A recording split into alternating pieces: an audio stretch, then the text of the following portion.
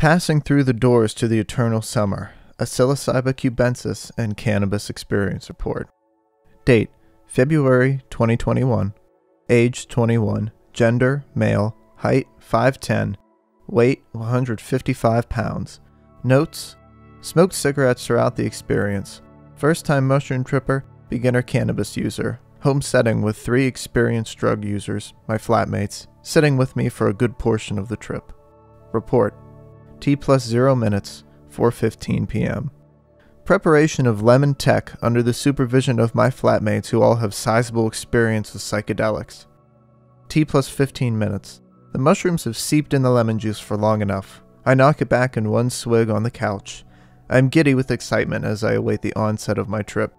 I watch the clock eagerly, counting down the minutes to 5:10 p.m., the time when my trip is supposed to be in full swing according to my flatmates. T plus 35 minutes. The trip has started to creep in, or I am merely tired. I begin yawning frequently. A cloud of barely detectable mist seems to float through the living room, originating at the house's back door, which leads to a snow covered deck. T plus 55 minutes. Yawning has ceased, and I pull a crocheted blanket over my head. The incandescent light from the ceiling lamp in our living room glows through the crochet stitches holes, giving the appearance of a multitude of stars against the night sky. I spend the next roughly 20 minutes grazing my hand back and forth against the night sky under the blanket, in addition to shaking the blanket around. This latter action produces a stunning array of light tracers off the stars, long enough to complete full circles. Further shaking of the blanket intensifies the vibration of these tracer circles. T plus 1 hour and 35 minutes. The first cigarette of the trip. Lighting up grounds me, although I know I am undoubtedly tripping at this point. The orange glow of my lighter is stronger, more saturated. The snow on the back deck takes on a teal hue in relation to the lighter's flame. I feel like I'm in a 2000s action movie poster. I go inside and tell my flatmates that I am Jason Bourne, and they quickly refute my assertion in a light-hearted manner and give me some water. Our two house cats, a gray tabby and a fluffy orange one of uncertain heritage, rubs up against my legs. They are messenger spirits of the moon, the gray tabby cat, and the sun, the fluffy orange one. I sit down and explain my theory to my friends, conceptualizing more evidence as the conversation lengthens. I hold this belief that the cats are representations of celestial bodies until the trip is over. T plus 1 hour and 45 minutes. I become enthralled with an abstract painting on the wall next to the couch, placed there by the landlord before my flatmates and I moved in. The scene depicted by the painting is vaguely reminiscent of a sunset at a beach, divided into three equally sized strips. Yellow is at the top, representing the sun, below that is blue, representing the sea, and below that is red, representing the beach or the earth. The colors in this painting jump out at me, fully saturated and meshing into one another. The mixture of the primary colors produces other colors which surface out of the clashing between yellow and blue and the blue and the red before submerging back into the original colors. T plus 2 hours and 5 minutes. I have lost the ability to stand without slowly sinking back to the ground. I lean against the wall for support, but find that it just provides a vertical guardrail as I continue sliding down. I manage to make my way over to the couch and plop down. My flatmate, most experienced with psychedelics, checks on me and asks how I'm doing. A million entertaining thoughts are running through my head, and I scramble to produce a coherent sentence that will let my friend know I'm doing well. I take in a comically large breath and then shout, Juice! My friend begins to laugh, launching me off into a laughing fit as I realize how nonsensical my exclamation was. My two other flatmates decide they will visit the corner store and ask if I want anything. I assert that I will accompany them, but they graciously decline and place me back on the couch. I order a blue Gatorade and a pack of beef jerky, even though I am not hungry or thirsty. T plus 2 hours and 25 minutes. The second cigarette of the trip. I crouch down and hallucinate the slow, a flat blanket and reality having freshly fallen, rushing along like water. I follow the direction the snow is flowing in and end up at the side of the house. Thick icicles have sprouted off the gas meter, and their shapes entice and beckon me towards them. I crouch down in front of the icicles and watch them ripple down from their base to the snow below. I choose the most robust of the icicles and pry it off the meter, and begin wielding it as a magic wand. I touch the cigarette tip to the icicle and combine the two elements together, granting me an artifact of immense power.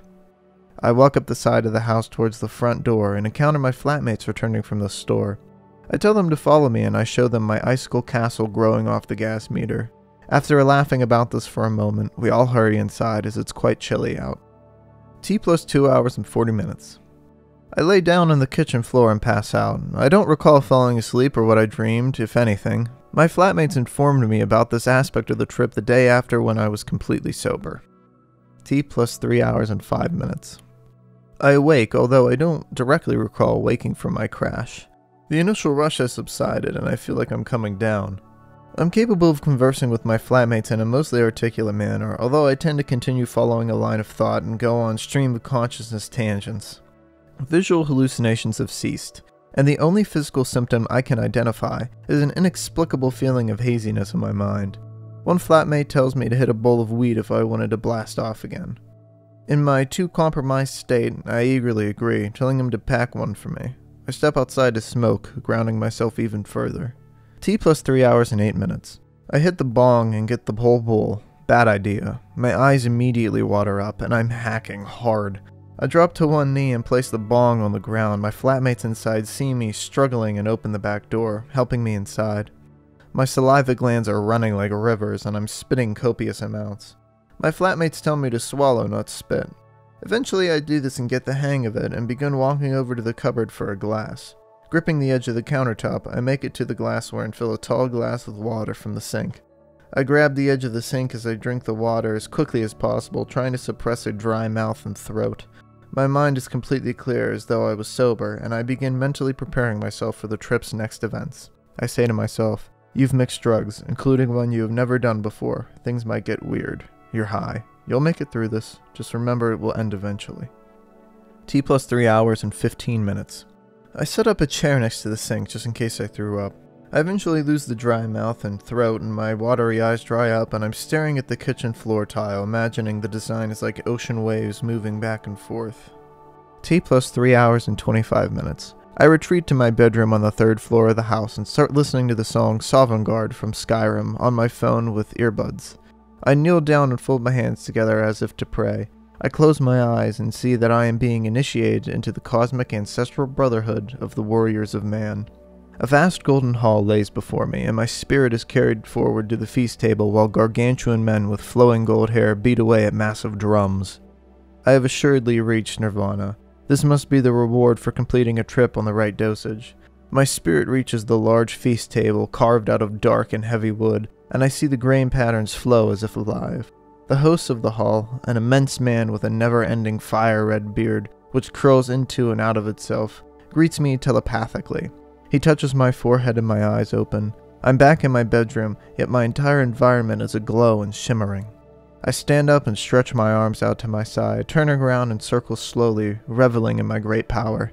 Suddenly, the music stops, my phone powers down, and I'm left in my bedroom alone. The enveloping glow slowly dissipates, and I feel as though I have lost contact with that higher realm. T plus unknown. I plug my phone into the charger and decide I'm going to spin some records. I check what's already on the platter, the Doors' greatest hits. Fair enough, I suppose. Jim Morrison wrote all of this music on drugs, right?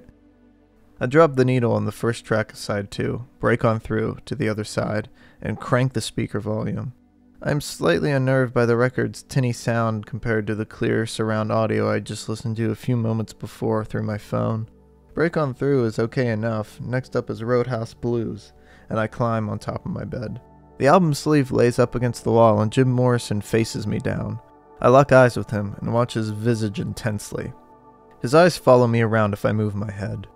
Roadhouse Blues ends, and Not to Touch the Earth begins, and the song immediately disturbs me, but I can't break my gaze with Jim. As the wretched music continues and picks up pace, I know I'm being hypnotized by Jim Morrison, who is in actuality a messenger of the malicious art gods. I'm being punished by them for listening to video game music. Why, Jim? Why did you give in to them? Why did you sell your soul to the devil? Don't take mine too, I didn't sign any contract. My answer comes soon enough as the song ends and Jim's voice slithers out of the speakers. I am the Lizard King. I can do anything. Ray Manzarek, the keyboardist, slams the keys, giving me a fright. I immediately shut the speakers off and lift the needle off the record. I grab the album sleeve from its position against the wall and hold it in front of me, wobbling it back and forth, watching as Jim's eyes still follow me. I flip the sleeve over and see the entire band in crisp black and white staring directly into my soul.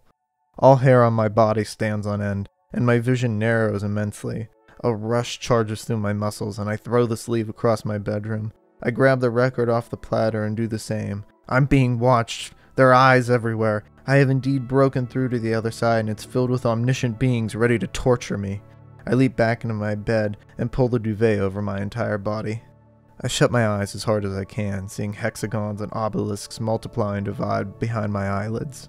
My body is quivering, and I am existentially horrified. I work up the courage to emerge from under the bed covers, and the terror continues. I'm simply a puppet in a grand play being put on by a sadistic being from another plane. It's irrefutable. Nothing exists beyond my bedroom door. Everything I have ever seen beyond these walls is another piece of the stage. I sit down on my bed and contemplate the existence of another rung in the hierarchy above governments, a level beyond our comprehension.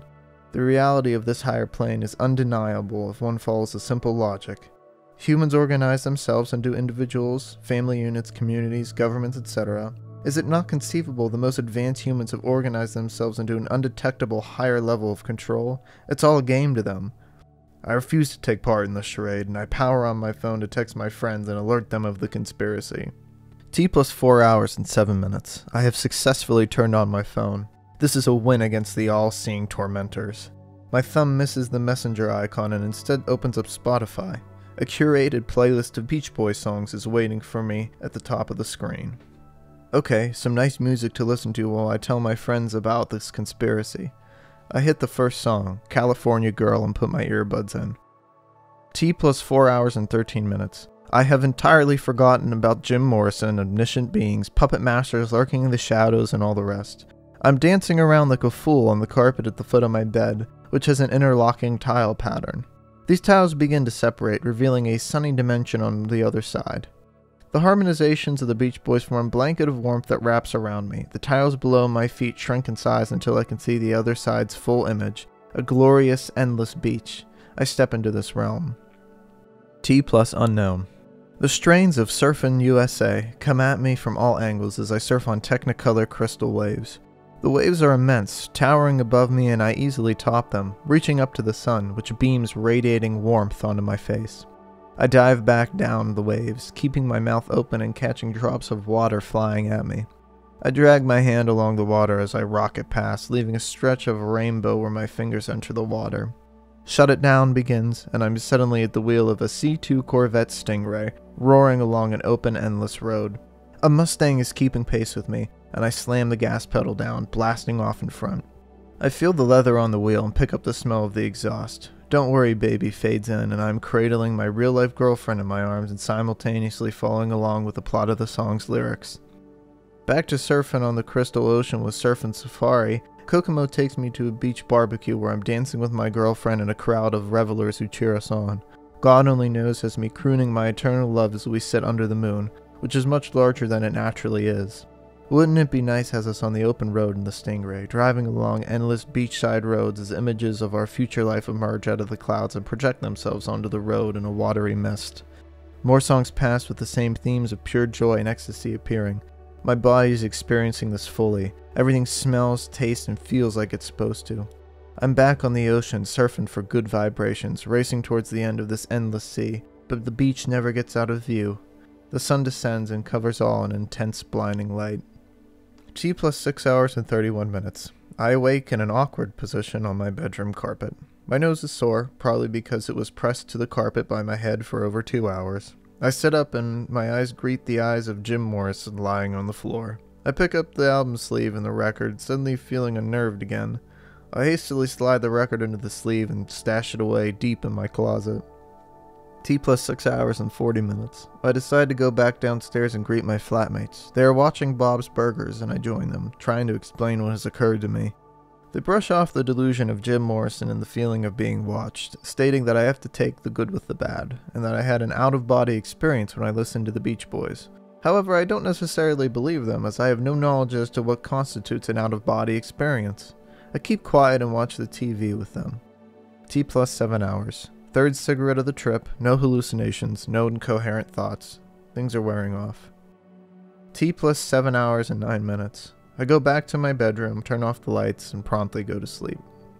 T plus 15 hours 32 minutes, 7:47 a.m. the next day. I wake up feeling groggy as all get out. I grab a glass of water downstairs and have some scrambled eggs and bacon.